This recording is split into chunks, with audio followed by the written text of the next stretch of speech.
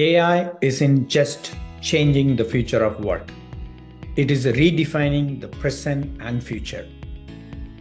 And you are already part of it.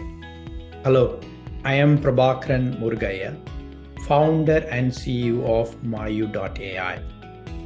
AI can write, AI can read, AI can speak, AI can hear, AI can see.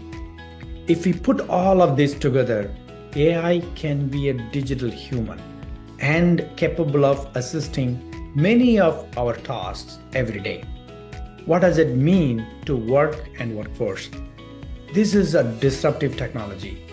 How are we going to coexist with AI that requires more learning and understanding?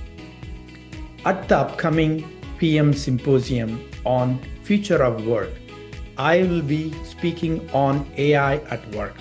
Together, we will explore real world examples of AI improving efficiency, reducing the cost, and creating new opportunities for all of us.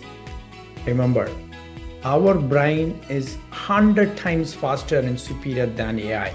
So we are capable of handling, managing, and utilizing AI in a better way. Mark your calendars. Join me on Friday, October 11th at the PMI Chicagoland Symposium.